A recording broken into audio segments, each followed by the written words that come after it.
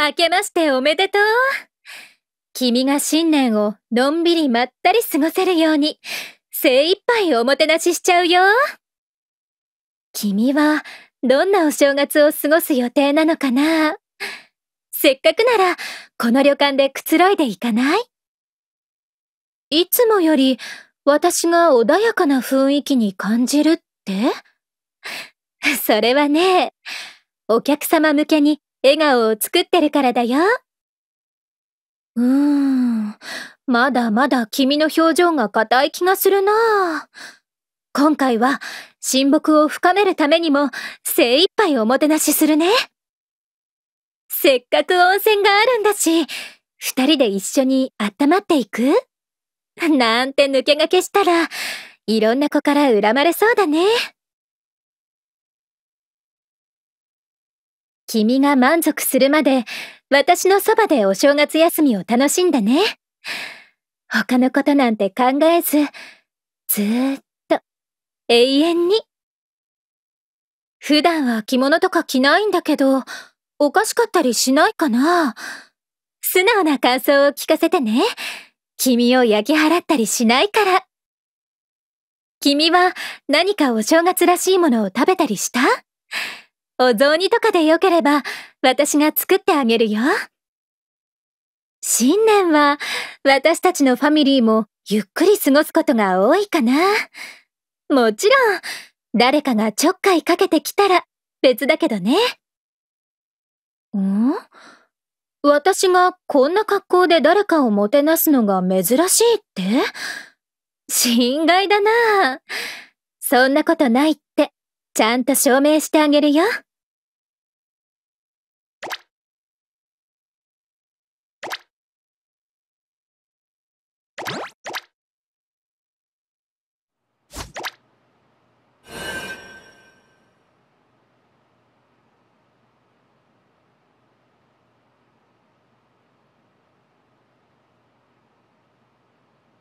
最後にイラストも描いてと。お客様へのメッセージカードの出来上がり。こうやって若女将ごっこっていうのも楽しいかも。あと残っているお仕事は？あお疲れ様。これでひとまずお仕事は一通り片付いたね。それにしても君が掃除してくれたあの温泉。結構興味深いな。汚れを洗い流すって一体どういう仕組みなんだろう。ゲーム的にはカルマ値を下げるってことになるのかな。でも元のレジェンド・オブ・アストルムにカルマ値なんてパラメーターあったっけ。私も知らないようなマスクデータとしてもともとそういうものが設定されてた可能性もあるけど改変の際に生まれたパラメーターって線もありえるかな？まあ何にせよ詳しく調べようと思ったら時間がかかるし今は入ると汚れが落とせる不思議なお湯ってことさえ分かってればそれでいっか。そんな不思議で面白い温泉に一番入るべきなのはセブンクラウンズの人たちだと思うけどね。あの人たちには相当汚れが溜まってそうだし。それともセブンクラウンズの汚れはあの温泉ですら洗い流せなかったりするのかな？なんてね。おっと若女将若旦那。お疲れ様でございます。あれ？どこかに出かけるの？ええ。このままだと夕食用の材料が足りなくなりそうなんでね今のうちにちょいと買い出しに出かけようかと思いまして。それなら私たちが代わりに買い物に行くよ。働き詰めなんだしあなたはちょっと休んでて。いいんですかい？若女将たちだって忙しいだろうに。気にしなくていいよ。ちょうどこっちの仕事は一段落したところだし。それにこういうのって案外楽しいからね。さてそれじゃあ行こっか。お買い物。ずいぶんと買い込んじゃったね。まあもし余りそうになったらお姫様でも呼んで全部食べてもらえばいいか。用事はもう済んだし戻ってお仕事の続きをしよっか。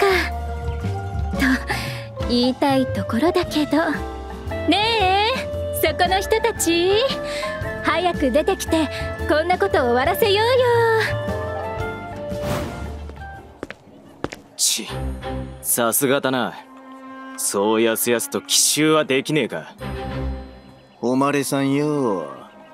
俺たちのことは当然覚えてるよなうーんごめん。ちっともわかんないや。全然興味もないし。なこの間お前に潰された組織のもんだよああそう。どうでもいいや。そんなことよりさっさと終わらせちゃおう。え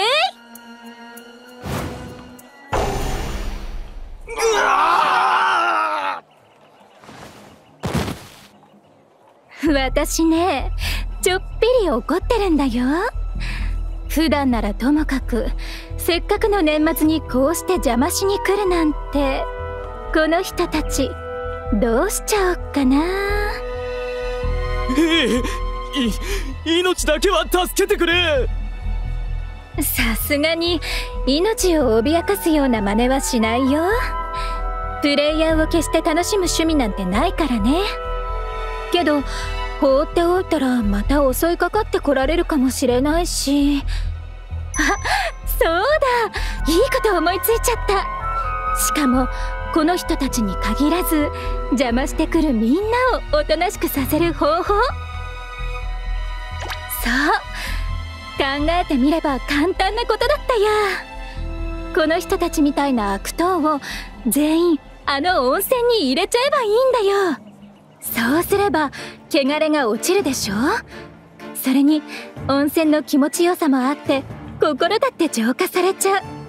つまり悪いことをしようなんて気はなくなっちゃうってわけ。私たちと縄張り争いをしてる人たちとかも呼べば楽に無力化できて簡単に島を広げられそうだしね。さてそういうわけであなたたちにちょっとお願いがあるんだけどいいよね？ももちろん何なりと。それじゃあランドソル中の悪党たちに私たちの旅館を宣伝してきてくれるかな？大急ぎでね。ああみんなに悪い人なら無料で温泉に入らせてあげるって伝えるのを忘れないようにね。そうそう念のため言っておくけど逃げようなんて考えちゃダメだからね。あなたたちのことこの目でいつも見ているから。分かった。おい行くぞ。さてとそれじゃあそろそろ旅館に戻ろっか。勝手に決めちゃったことだしちゃんとスタッフさんにも説明しなくちゃねそういうわけだから。よろしくねみんな。えー、そんな。入浴料を取らずに温泉に入らせてあげるなんて大赤字になっちゃいますよ。いいえそれ以前の問題としてそういう柄の悪い方たちばかりが集まれば旅館の治安が大変なことに。うんうん。当然の心配だよね。でも安心してもし今回の件で赤字が出ちゃった場合は私のポケットマネーで補填するし。旅館だって必ず守ってみせるよ。約束する。どうかな？私の約束だけじゃ不満？わ若女将がそこまで言うのなら信じますけれど。それじゃあ決まりだね。さて準備の方を始めなくちゃ。それでちょっと相談なんだけど料理人さんたちこういうのってできるかな？ああなるほど。え問題ありません。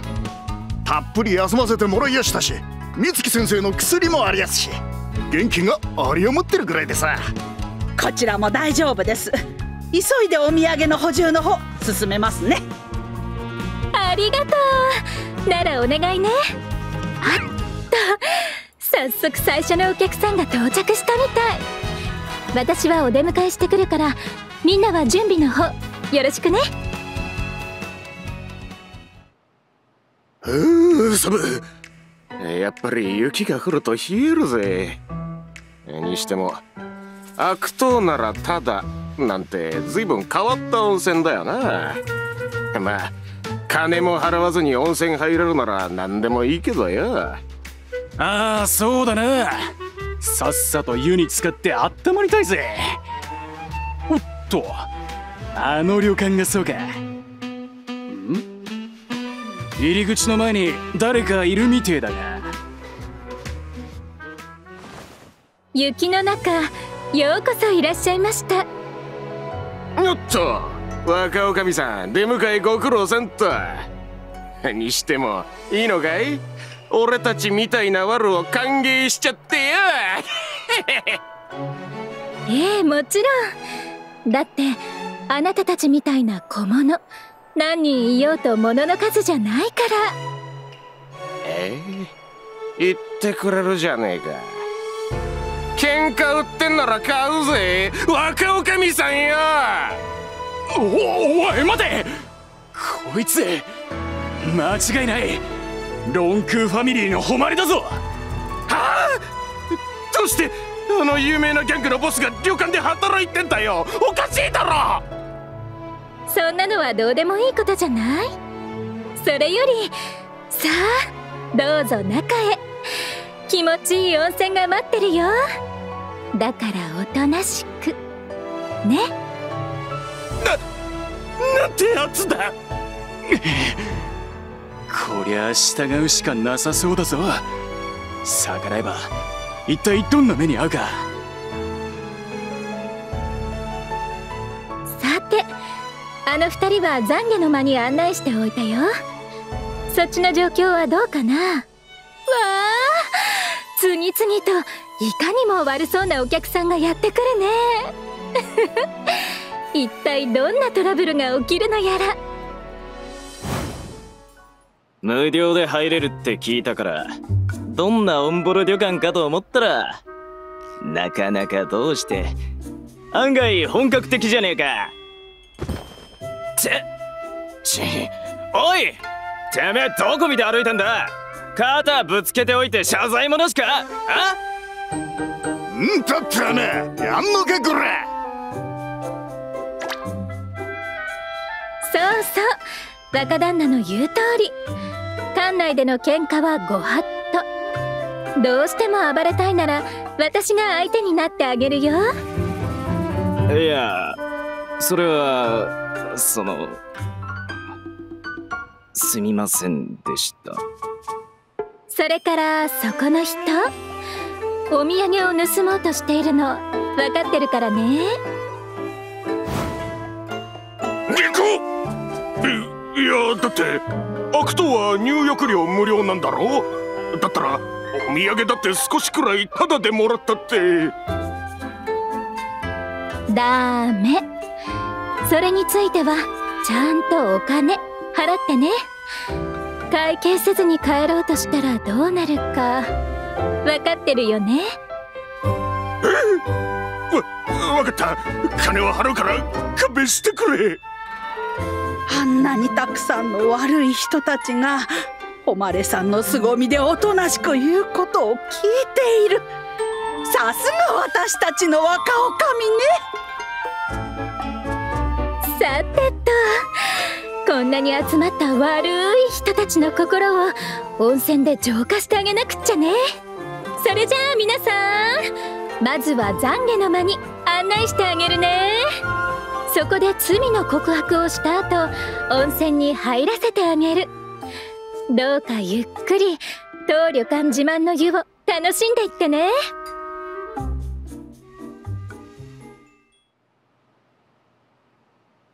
はあいい湯だった。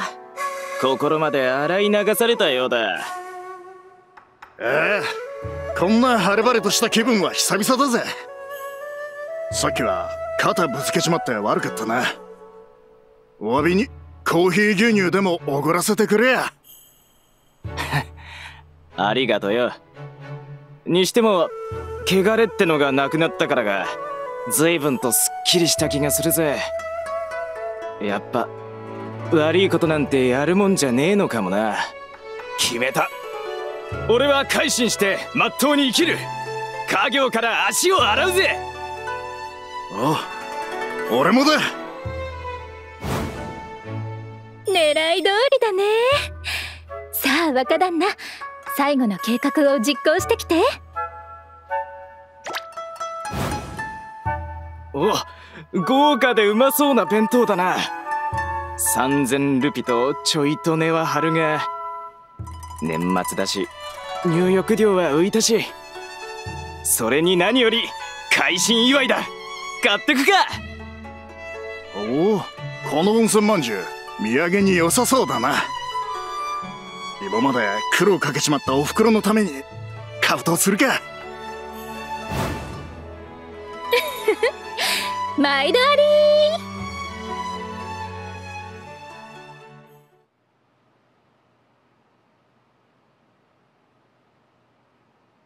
いやまさかこんなことになるなんて入浴料は取っていないのにとんでもない売り上げになっちゃいましたね。全部うまくいったね。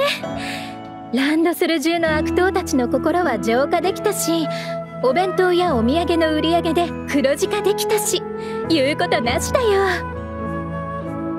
ああさっきのあれ？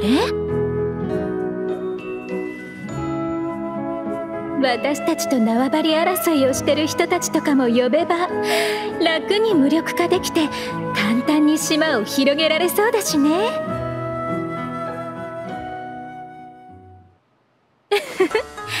あれはただのジョークだよ。簡単なゲームなんてつまらないし部下たちを年末に働かせるのもかわいそうだしね。そのうち改心したとか言ってた人たちは元に戻るだろうね。あの温泉の効力はせいぜい数日しか持たないんじゃないかな。だから今回の一件でランドソルの問題が全て解決した。なんて都合のいい話じゃないよ。ただ束の間の平和が訪れたってだけだね。気になる？それはね君へのご褒美。君は一年中人助けを頑張り続けてきたでしょ？だから年末年始くらいはどこかで誰かが悪党のせいで困ってるかもなんて心配せずにゆっくり過ごしてほしくて。ここまでよく頑張ったね。お疲れ様。若旦那のお仕事は早上がりしてのんびり休んでいいよ。もちろん。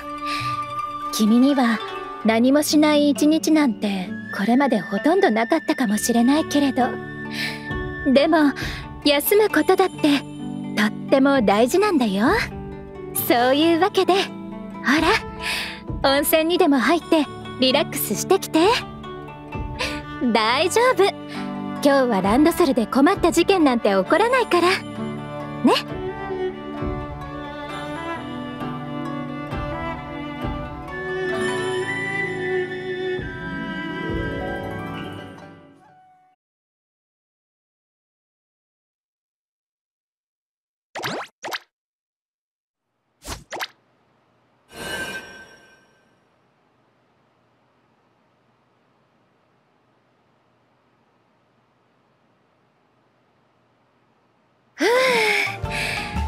掃除終わりっと。君も床拭きとか窓拭きとかいろいろお疲れ様。ずいぶんとピカピカになったね。ま旅館は絶賛営業中な上に広いから9割程度は私の魔法でパパッと掃除を済ませちゃったけど。でも少しくらいは自分たちの手でやらないと風情がないからね。あちなみに私たちのアジトはとっくに大掃除済みだよ。主にいのりちゃんにやってもらっちゃった。人が真心込めてお掃除した部屋の方が魔法で片付けるより気持ちがいいような気がするでしょ。気分の問題だよ。それよりも大掃除は終わっちゃったしお仕事の方も今のところは落ち着いてるししばらく時間ができちゃったね。こうして少し暇になると今年ももう少しで終わるんだって実感が湧いてきちゃったかも。大晦日か。いつもなら同人誌とか買いに行ってたんだけど。うん。とは言っても現実世界の話なんだけどね。向こうでは大晦日に大規模な同人誌即売会が開かれてるの。こっちで言うところのランフェスに近いかな？私ねよくそのイベントに行ってたんだ。まあサークル参加はしたことないんだけど私の同人誌は委託販売だけにしてたからね。一般参加者としていつも楽しませてもらってたんだ。懐かしいな。ああけどそういえばミネルヴァの懲役前に開かれたあのイベント忙しくて参加できなかったんだっけ。言っておけばよかったな。こんなことがあった後じゃレジェンド・オブ・アストルムの同人誌なんて激減しちゃうだろうし。うん。まあそうだね。同人誌であれば何でもいいってわけじゃないけど面白そうな作品なら読みたいかも。漫画家としてはいろんな作品に触れてどんどんインプットしなくちゃだしね。やっぱり君って面白いこと考えるよね。それに旅館で漫画を描くって考えは案外理にかなっているのかも。向こうの世界では旅館で缶詰して原稿を仕上げるって人もいたしここで作業をするのは集中できていいかもね。そうと決まれば空いている客室を作業用スペースとして用意してあげるね。そこで思う存分書いていいよ。あそうだ。いいこと思いついたかも。君の作業の途中で私が進捗確認しに行くね。やっぱり作品を完成させるのに人の目とか締め切りって大事だし。それじゃあ頑張ってね。どんな作品になるのか楽しみにしてるよ。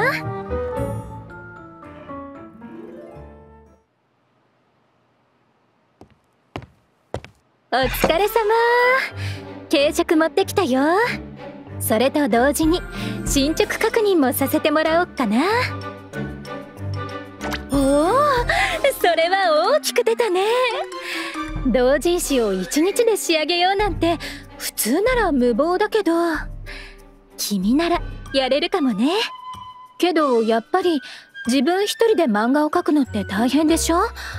私も何か手伝おっか？ベタ塗りでもトーンでも。もちろん背景とかでも完璧にこなしちゃうよ。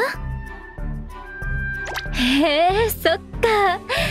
君がそう言うのならきっと大丈夫なんだろうね。なら楽しみに待ってるからね。原稿作業引き続き頑張って。応援しているよ。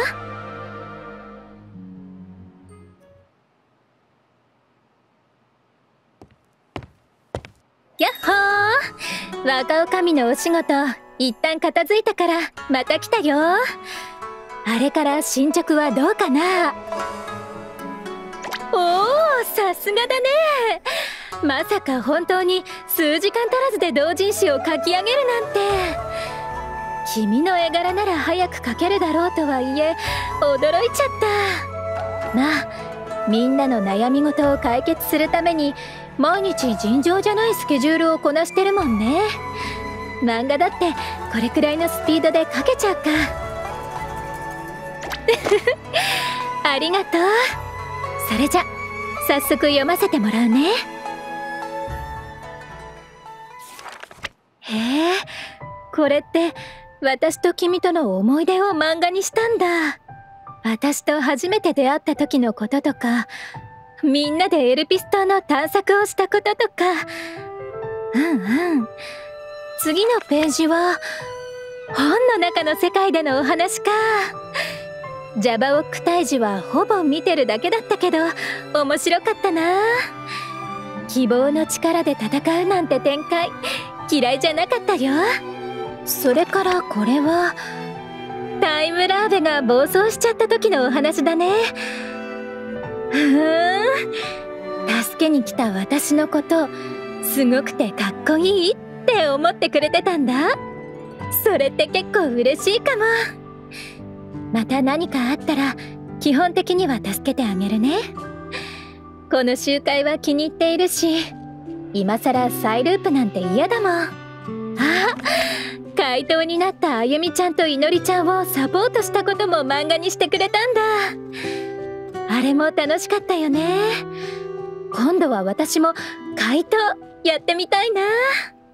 あ私の漫画を手伝うシーンまで描いてくれたんだね。君にとってそんなにアシスタントは印象深かったの？そう思ってくれてたんだ。ありがとう。私も君と漫画を描くのは楽しいよ。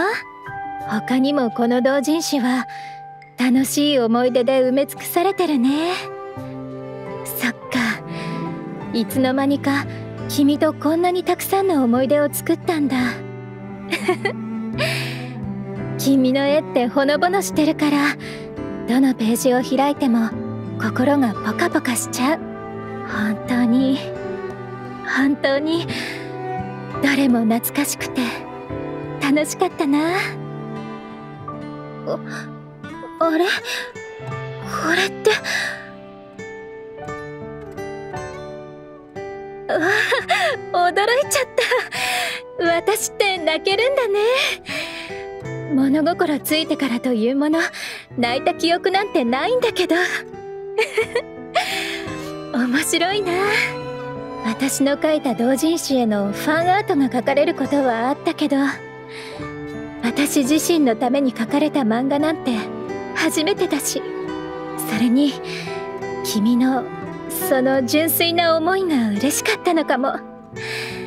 だから泣いちゃったのかもね。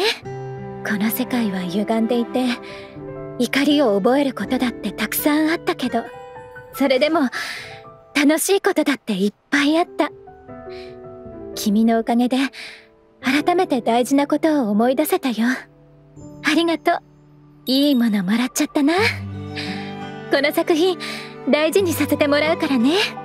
こんなに素敵なプレゼントをもらったからにはちゃんとお礼しなくっちゃ。ダメ。こういうのは素直に受け取るものだよ。今までのアシスタントのお礼とかも含めていつかちゃんとお返しするから待っててね。どんなのを送ろうかな。君とシェフィーちゃんの分のお揃い漫画道具一式とかがいいかな。美食殿には有望な漫画家の卵が2人もいるんだしそれとも別の何かにしようかな。まあそれは後で考えればいいか。さて君の同人誌のおかげで随分と大晦日気分を味わえたけど他にも大晦日らしいことしちゃおっか。例えば年越しそばを食べるとか。そうでしょ？じゃあ料理人さんに作ってもらおうか。ゆっくりのんびり大晦日を楽しんじゃおう。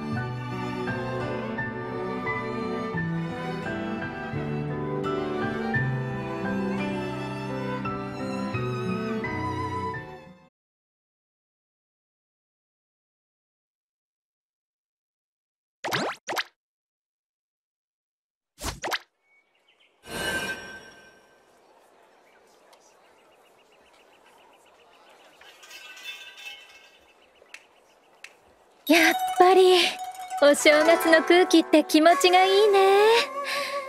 若女将と若旦那のお仕事も終わったことだし今日はのんびりと過ごそっか。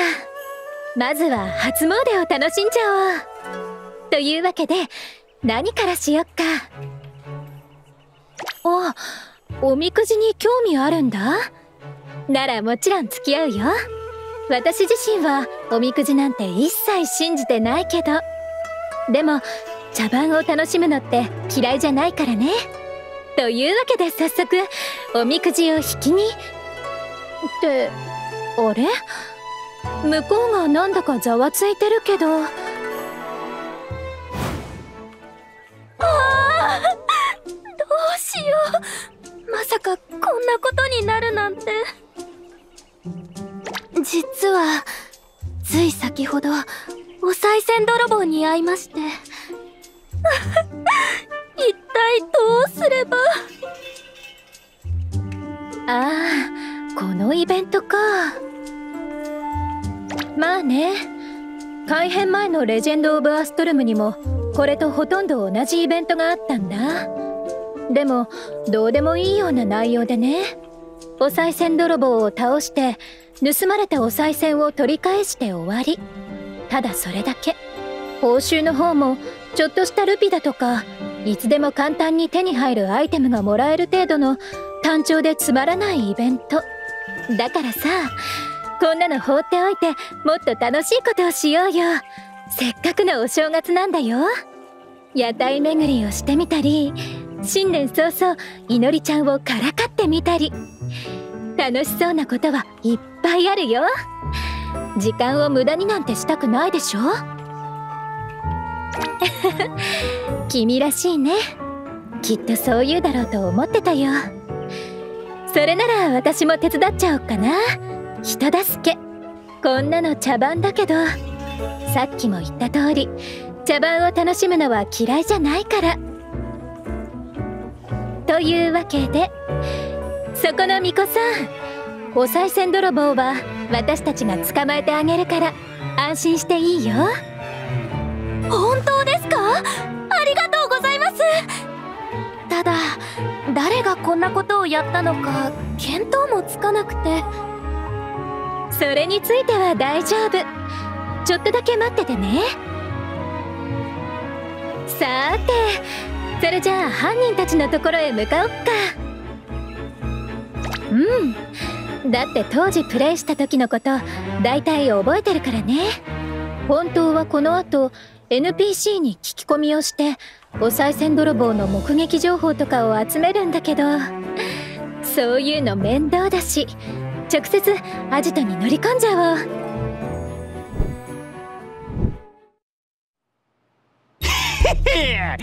うまくいったな親瓶予想以上に再生入ってたぜ。こんだけ金がありゃ欲しいもん何でも買えちまうな。俺は何買おうかな。やっぱおもちゃにしようかな。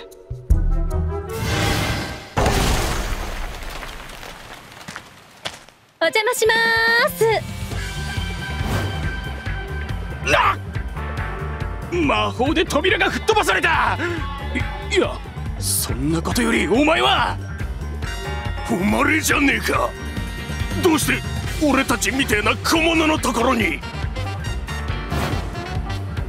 それこそあなたたちみたいな小物に応える必要なんてないと思うけど。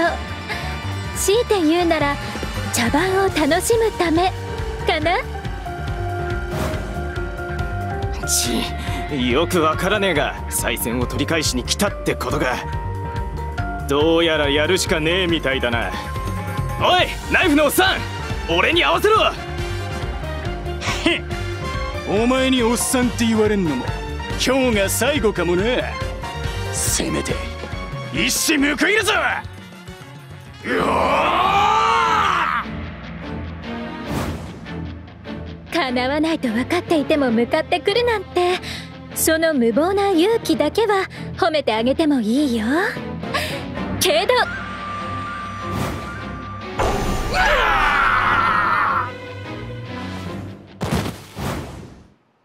実力が足りなさすぎたね。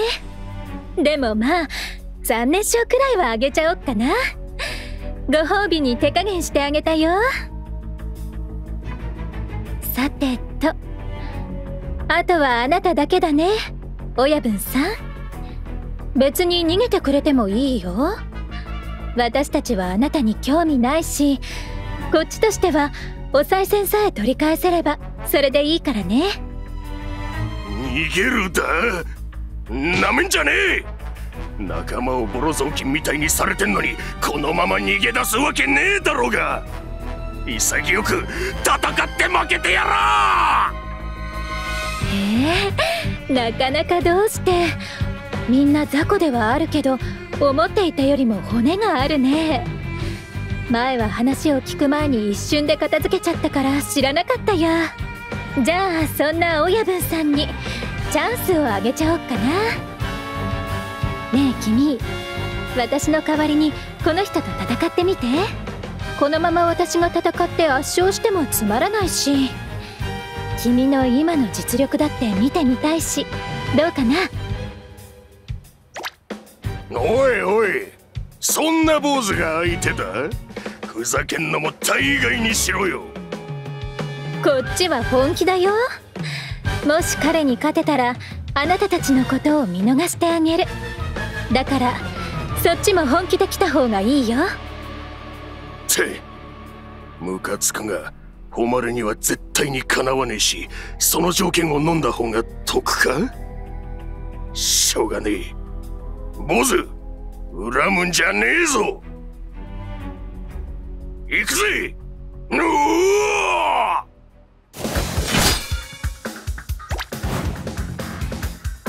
おやるね。斧を剣で受け止めた。頑張れ。応援してるよ。ならこれはどうだ。おっと今のは紙一重だったね。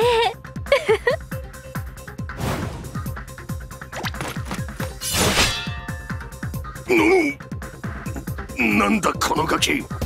力もスピードも点で大したことねえのに随分戦いにくいぞ。へえさすが。物おじせず相手をよく観察できてる。だから敵に合わせた戦い方ができる今まで散々修羅場を経験してきたもんね。君はいくらレベルを上げてもステータスは上がらない。それでも弱い相手ならこうしていい勝負できるくらいには強くなったんだね。ちょっと感慨深いかも。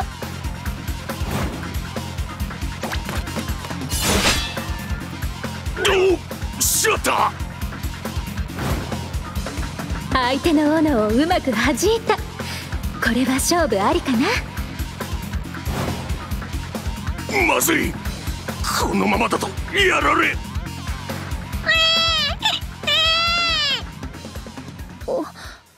この鳴き声は赤ちゃん ?2 階から聞こえてくるみたいだけど。ミルクの時間か。それともおむつか。おい坊主。戦いの途中で悪いが一旦休憩タイムだありがとよ。おいお前ら。人肌の温度のミルクとおむつの準備だ。了解。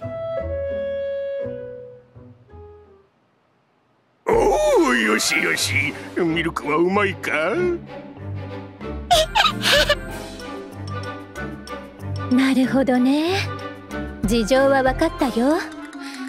両親が失踪してしまった子供をたまたま拾ったから。自分たちで育てることにした。とこの人たちにそんな設定があったなんて知らなかったな。ちょっと意外な展開かも。ね。もう少し詳しく聞かせてくれない？俺たちはもともと商人だとかの護衛をするギルドだったんだ。赤ん坊を拾う前は貧乏ながらも細々とは食えてたが護衛の仕事だけじゃこの子を養えなくてな。それでちんけな悪行に手を染めることにしたってわけだ。別に無理をしなくてもサレンディア救護員にでも赤ちゃんを保護してもらえばよかったんじゃない？そういう子のためにあるギルドなんだし。当然俺たちも真っ先にそのことを考えたさ。けどよサレンディア救護員のギルドマスターは聞くところによるとまだ10代の子供らしいじゃねえか。子供に赤ん坊の面倒を押し付けてそれで「はい終わり」なんて。そんなこと大人としてできるわけねえだろうが。わあ立派だね。とか言ってあげたいけどそれでやることがお賽銭泥棒なんて大人失格じゃない？全くもって返す言葉もねえ。俺たちは深く考えるのが苦手なもんでな。こうするしか思いつかなかったってわけだ。でよ戦いの空気でもなくなったところで相談があるんだが俺たちのことを見逃しちゃくれねえか。虫が良すぎることは分かってる。けどよもし俺たちが逮捕されりゃこの子はまた一人ぼっちになっちまう。頼む。この子は俺たちの家族なんだ。いろんな人に迷惑かけちまった自覚はある。その人たちみんなに詫びてくる。だからよ。うんどうしよっか。君はこの人たちをどうすればいいと思う？へえそれも意外で面白い展開だね。いいよ。じゃ私が面倒見てあげる。収入の方もかなり安定すると思うよ。ただしお賽銭は返してね。それが条件。どうかな？そんなのもちろん返すに決まってらありがとうよ。恩に着るぜ。お前の好きなおもちゃいっぱい買ってあげるからな。楽しみにしてろよ。じゃこれで一件落着だね。思ってたよりも面白いイベントだったな。当時プレイしてた時この人たちを瞬殺なんてしなければよかったかも。あるいは改編前は私の知っているような単調なイベントだったのにアストルムの改編に伴って内容が変わったりしたのかな？まあそんなのセブンクラウンズとかにでも聞かないとわかんないし気にするだけ無駄か？それより巫女さんにお賽銭を届けに行こっか。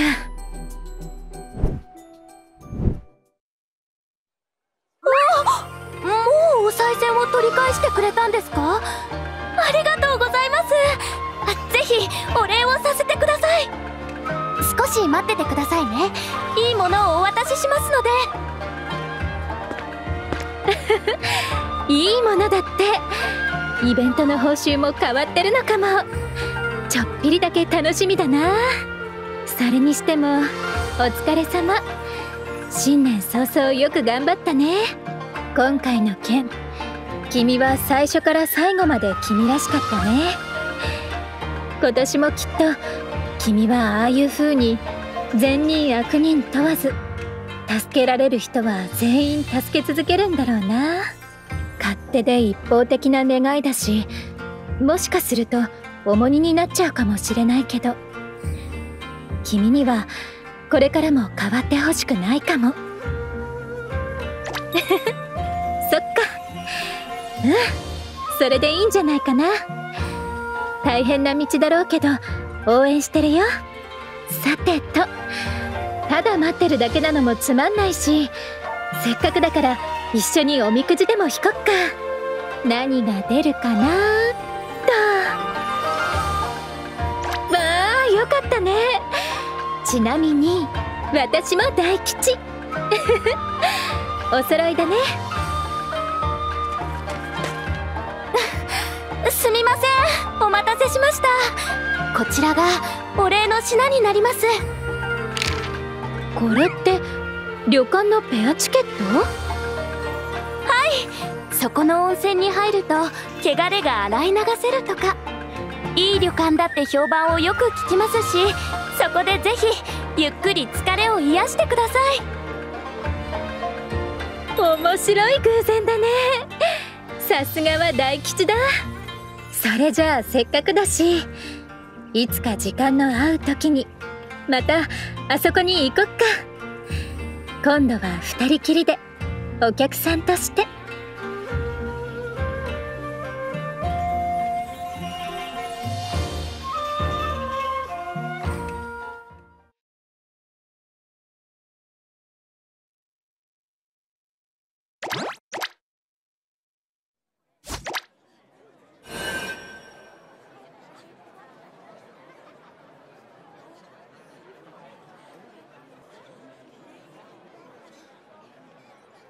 やっぱり当然といえば当然だけどお正月だから大体のお店は閉まっちゃってるね。けどそのおかげで出歩いている人は少ないしずいぶんゆっくりと過ごせるね。お正月は年に一度しかないんだもん。のんびり過ごしちゃおう。あ心配してくれてるんだ。うん確かに忙しいよ。いろんな計画を考えてるところだしかやちゃんといのりちゃんをもっと成長させたいしそれに漫画だって描かなきゃいけないしやりたいこともやらなきゃいけないことも私にはいっぱいある。でもねある約束をしたから。だからお正月くらいはゆっくりしようって決めてるんだ。それはね内緒。君の想像に任せるよ。あれ？君のその光。そっか。アメスちゃんの仕業だね。新年早々どんな夢を見せてくるつもりかな。ある程度想像はついちゃうけど。それじゃしばらくお休み。夢の中でまた会おうね。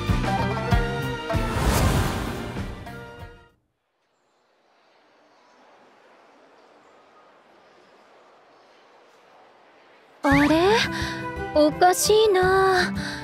どのお店も閉まっちゃってる。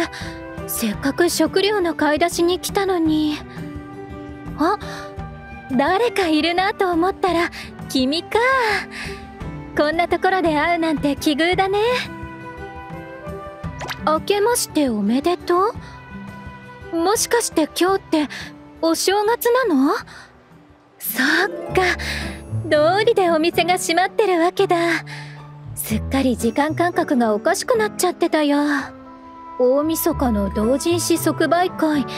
行きたかったんだけどな。しょうがない。通販で手に入れるしかないか。まあね。この1週間くらいはずっとハッキングしてたかな。主にアストルム関係について調べるためにね。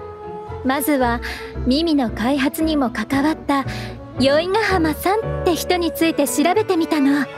プリンセスナイトの耳はセブンクラウンズが用意した特別なもの。だからこそその専用耳について何か分かれば対セブンクラウンズにおいて有利になるかもしれないからね。とはいえセブンクラウンズの誰かを直接調べるのはさすがに時間がかかりそう。そういうわけでまずは宵ヶ浜さん周りを探ってみたけど外れだったみたい。宵ヶ浜さんがプリンセスナイト専用耳に関わった痕跡は少なくとも今のところは見つからなかったよ。まそんなものに関わってる可能性は低いと思ってたからやっぱりそうだよね。としか思わなかったけどいろいろ調べてるうちに彼女自身には興味出たけどね。いつか一緒にアストルムで遊んでみたいな。ちなみにダメ元で聞くんだけど君の使っている耳しばらくの間私に貸してもらったりすることってできない？1ヶ月くらい貸してもらえればいろいろとはかどるんだけど。それは残念。けど当然だよね。プリンセスナイトっていうセブンクラウンズへの対抗手段をほんの少しの間でも手放すわけにはいかないし。まあそれよりもこの1週間公安のサーバーに潜り込んだりとかしたのに結局有益な情報はほとんど得られてないんだよね。次はどこへハッキングしようかな。やっぱりウィズダムかな。うんそうしようっと。ーし。そうと決まったら頑張ろうっと。コンビニでお弁当でも買ってハッキングに戻るとしようかな。へえ驚いちゃった。よりによって君がそういうことを言うんだ。君はセブンクラウンズと敵対してるんだよ。あの恐るべき天才たちととんでもないことに巻き込まれてしまってるってこと。ちゃんと自覚してるのかな？お正月だろうとのんびりしている暇はないんじゃない？なるほど。こんな状況でも自分らしさを貫けるなんてさすがはクイーンラビリンスのプリンセスナイト。そっか。日常も大切か。うんそうだよね。なんだか急に肩の力抜けちゃった。アストルムをめぐるあれこれを調べるのは楽しいけどせめてお正月くらいはゆっくりするべきなのかもね。なら約束しようよ。お互いお正月はのんびり過ごすって。今年だけじゃなくて来年も再来年もね。それじゃあ決まり。今日はお仕事もハッキングも少しお休みしようっと。お正月らしいことをしなくちゃね。おいいね。まさにお正月って感じだ。なら着替えてこなくちゃ。ちょっと待ってもらっちゃうことになるけど大丈夫？ありがとう。じゃあパパッと着替えてくるね。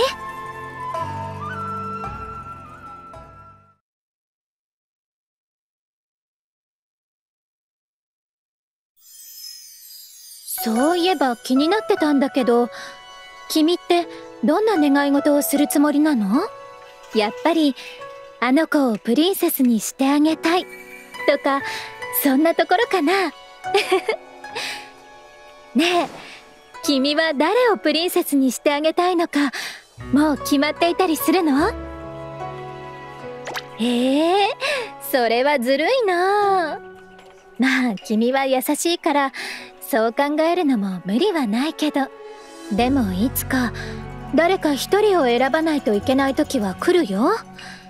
君がいざという時どういう選択をしてどういう結果になるのか興味あるな。それはさておき参拝しよっか。二礼二拍手。一礼っと。これでよしっと。さてこれからどうしようかな。ゆっくり過ごすって決めたわけだしルカと白金さんでも誘ってグダグダしちゃおっかな。学生時代みたいに誰かの家に集まってどうでもいいような話をして過ごそうっと。君もよかったら来る？そう来なくっちゃ。今年のお正月は盛り上がりそうだな。みんなで楽しんじゃおうね。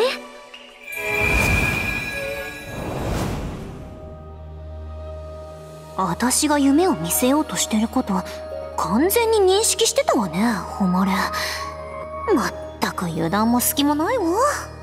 それはそうと今回あんたにこの夢を見せた理由もう分かってるわよね。誉れとの約束を思い出させようとしたの。余計なお世話かもと思ったけど。それでもあんたも誉れも毎日忙しすぎるでしょ？だからせめて今くらいはゆっくり過ごさせたくて。あんた自身がかつて言ったように日常だって大切だわ。今年も忙しくなるだろうけどそれを忘れないようにね。さて今日はこの辺にしときましょうか。この1年であんたが何を成し遂げるのか見届けさせてもらうわよ。じゃあバイバーイ。あ起きたみたいだね。おはよう。それにしても頼んでもないのに初夢を見せてくるなんてちょっと野暮じゃないかなアメスちゃん。まそんなことはどうでもいいか。大事なのは私が約束を守りたいって思ってるってこと。たとえ君が覚えていなくても約束したんだから。お正月はゆっくり過ごすって。だから今日は何もしないって決めてるの。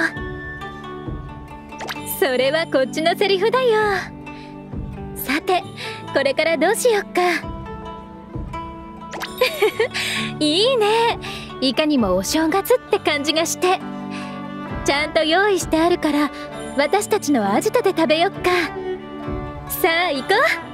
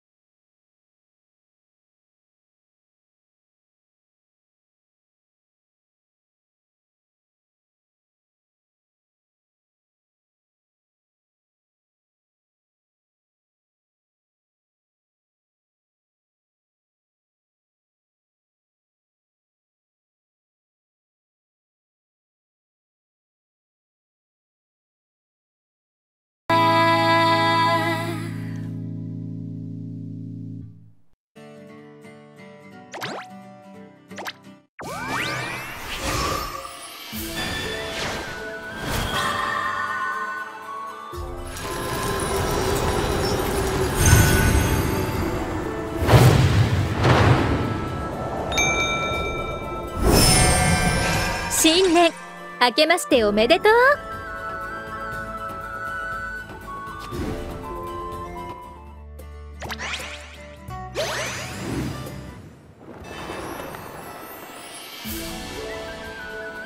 君とこうしてお正月を過ごせるなんて私すごく嬉しいな。お休みで暇な分じっくり観察できるからね。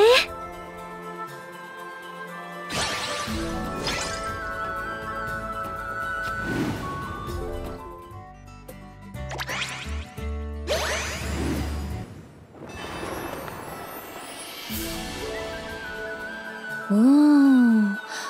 まだ私のこと怖いって思ってない？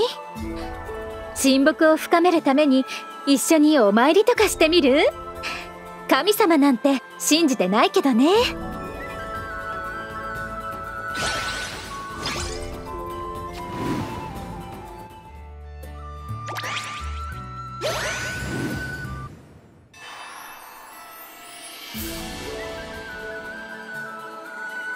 君と初めて出会った頃はこんな風にお正月を過ごせるとは思ってなかったな。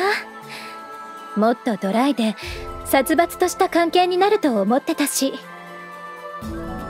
やっぱり君には魅力があるんだね。生まれたての赤ん坊みたいに汚れのない善意。それがこの世界にどんな影響を及ぼすのか。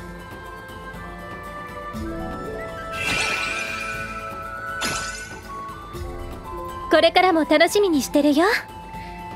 だから新年のお願い事は君を傷つけようとする全ての人たちが消えちゃうことにしておくね。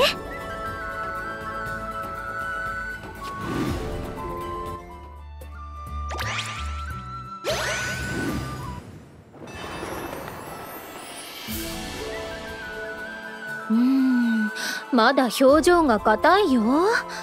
せっかく一緒にお正月を過ごしてるのに。どんなことしたら笑ってくれるのかな？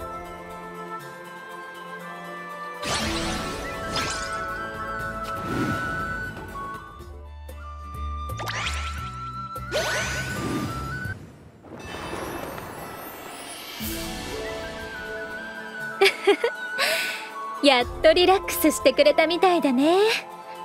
今の顔スケッチさせてもらってもいい？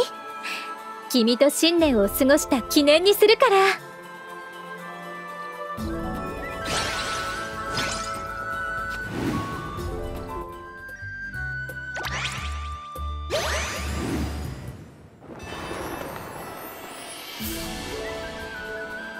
最近はずっと忙しくて疲れることばかりだったから。こんな風に気になる男の子とのんびり過ごせて最高の気分転換になりそうだよ。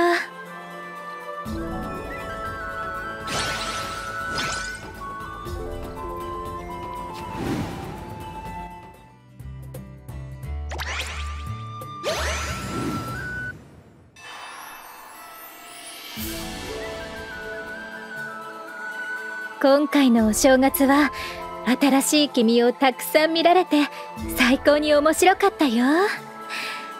少しは距離感も縮まった気がするし。今年の君はどうなっていくのかな？優しくて善良で純粋な君のままでいられるのかな？それともまた別の一面を見せてくれるのかな？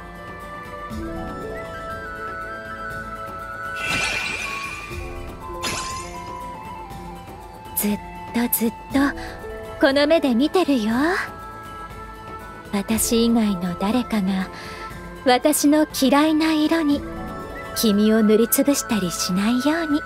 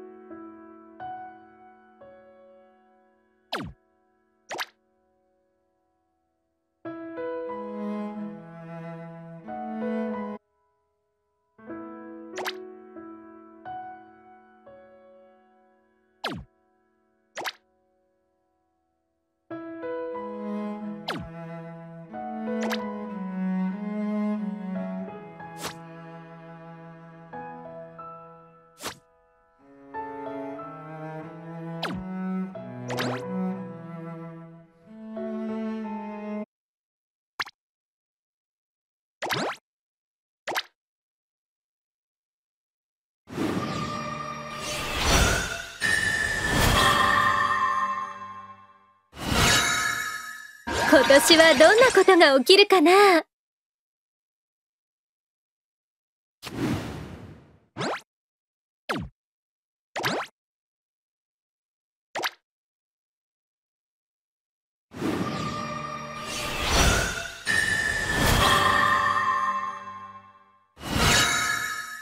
何度でも君と新年を迎えたいな。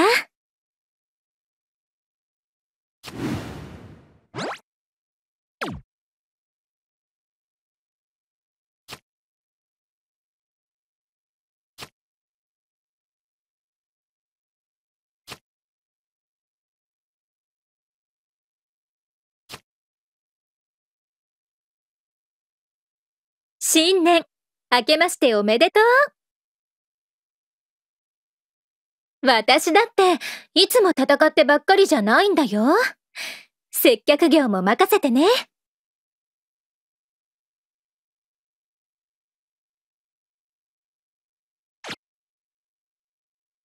このまま寝たらシワになるかな。着替えた方がいい？いのりちゃんがお年玉欲しいんだって。悪い子だったし、10ルピでいいかな。ふん。いのりちゃんは最近こんな漫画を読んでるんだ。君と二人っきりで神殿に初詣。行ってみたいな。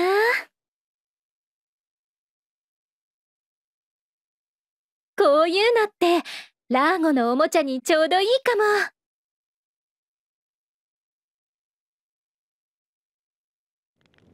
ちょうどいい火加減だね。ポカポカするよ。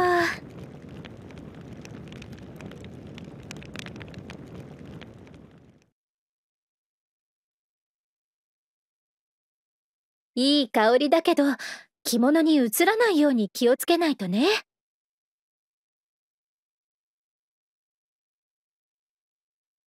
着物の時はほどほどにしないと。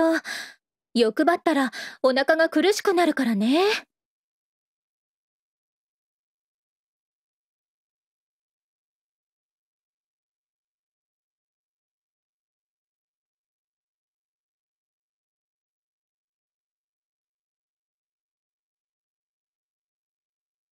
お正月だからお雑煮を作ったんだけどかやちゃんには大好評だったよ。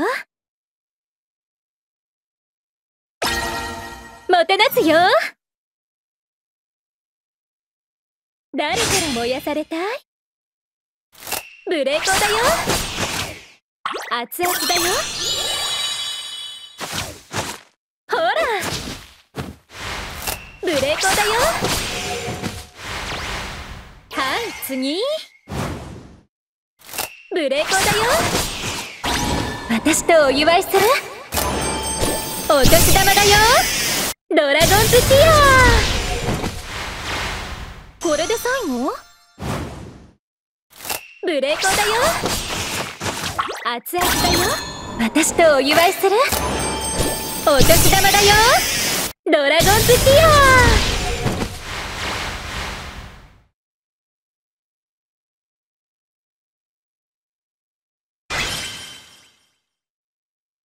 さてお参りに行こっか。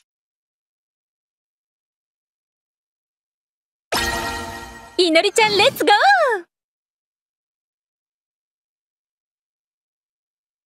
ボス帰っちゃダメです。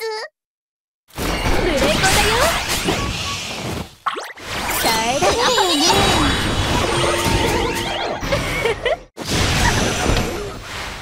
先に行くですよ。任せていのりちゃん。お年玉だよドラゴンズティア熱々だよ任せていのりちゃん。ドラゴンズデーム。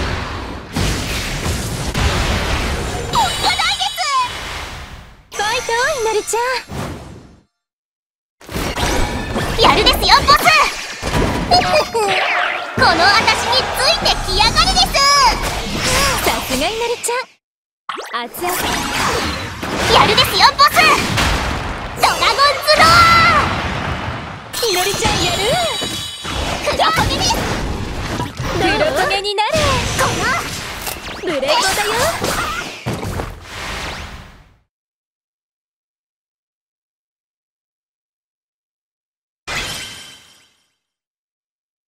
超楽勝ですこのままの勢いでボスもぶちのめしてやるですよいのりちゃんってば見事に調子に乗っちゃってるね。じゃあ次は私と戦おうか。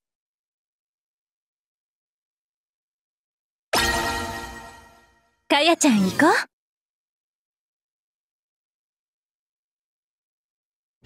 楽しみだな。熱々だよドキナボスドラゴンズエンドフィスたぎってきた。黒焦げになれブレーコーだよ。進んじゃおう。楽しまなくかやちゃん下がって。ドラゴンズデーム。さすがボス。耐えられるよ。かやちゃん下がってお年玉だよ。ドラゴンズティア。さすがボス。ドキドキするね。楽しみドキナボス。吹っ飛べ。ドラゴンズエンドバースたぎってきた。ト喧嘩やぶっ倒す。ドラゴンズエンドフィスたぎってきた。熱々だよ。ト隙だらけだってきたぜ。黒焦げになれ楽しまなくっちゃな。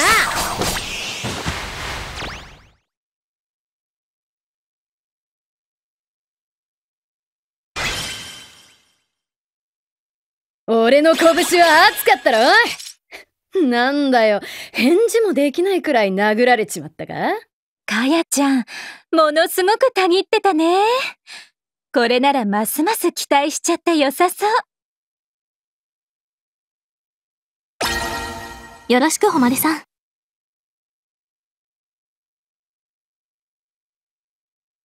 ろうか、シェフィーちゃん。ブレーコだよ。アクセル。耐えられるよね。氷の道は黒焦げになれ。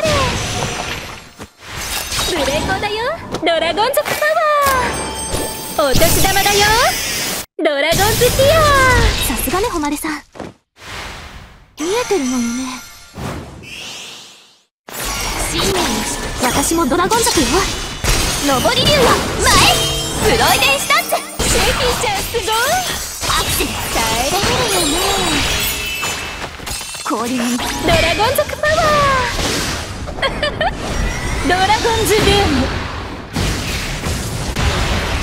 さすがね誉さんドキドキするねブレ私もドラゴン族よ覚悟は決まったからこの一撃にかけるしかない。フロストパング！かー！シェフィーちゃんすごい！花の氷をお披露目ね。上り竜は前！プロイデンスタンツシェフィーちゃんすごい！氷の道花の氷を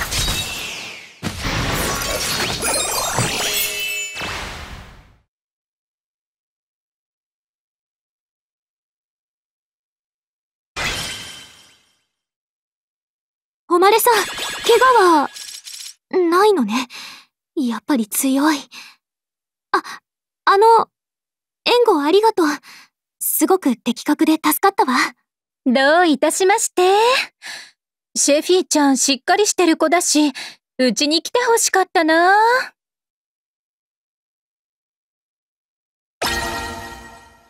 勝ち込みです殴られたいやつから並びな。楽しまなくっちゃな。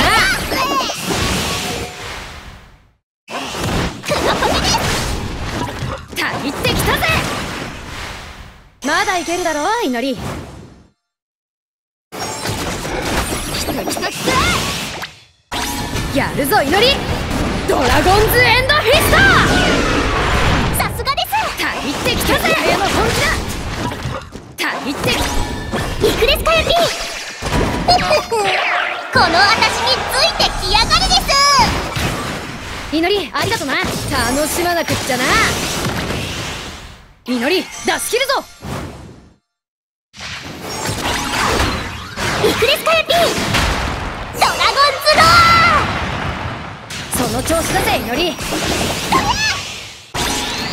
やるぞ祈り。吹っ飛べ。ドラゴンズエンドバースト。ーさすがです。ってきたぜ。たぎってきたぜ。私の出番ですね。この私についてきやがれです。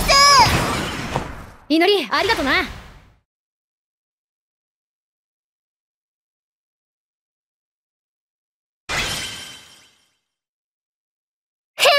見たですか私たちドラゴン族の力。はあ。俺たちならどんな相手でも負けねえぜ。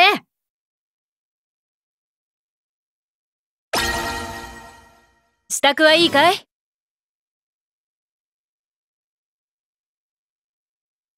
年の始めよ。竜が熱々だよ。まさか。鮮やかに決める。暗いな雪の立つ到底ささめ雪。見事な夜明けだね。さすがね。ほら。燃えてきちゃった。痛くするわよ。煙るわよ。風雲初春の渦。ぐすいね。やるじゃないか。疫病退散私とお祝いする。お年玉だよドラゴンズティアすごい。一本締めよ。男性込めました。味。召し上がれ。真心三段重ね。オンにするよ。派手に決めようか。雪の立つ到底ささめ雪見事な夜明けだね。さすがね鮮やかに決める。いい子にね。行くよ。痛くするわよ。煙るわよ。風雲初春の渦無粋ね。やるじゃないか。